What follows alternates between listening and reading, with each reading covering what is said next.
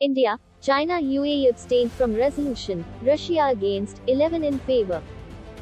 India abstained from a procedural vote taken in the UN Security Council to call for a rare special emergency session of the UN General Assembly on Russia's aggression against Ukraine, even as New Delhi welcomed Moscow and Kiev's decision to hold talks at the Belarus border.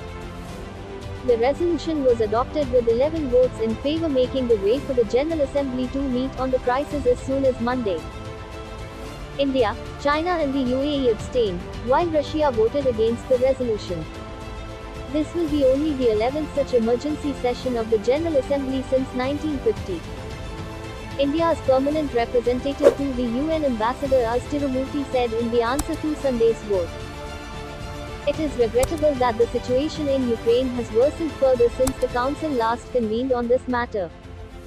In the explanation of India's vote in the Security Council on Friday, Mr. Tirumurti had said New Delhi is deeply disturbed by the recent turn of developments in Ukraine and urges that all efforts be made for the immediate cessation of violence and hostilities. Dialogue is the only answer to settling differences and disputes, however daunting that may appear at this moment. It is a matter of regret that the path of diplomacy was given up. We must return to it. For all these reasons, India has chosen to abstain on this resolution, he had said.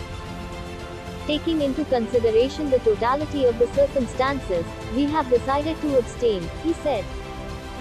He stressed that, there is no other choice but to return to the path of diplomacy and dialogue. We welcome today's announcement by both sides to hold talks at the Belarus border, he said. Mr. Tirumurti also said India is deeply concerned about the welfare and security of the Indian community, including a large number of Indian students, in Ukraine.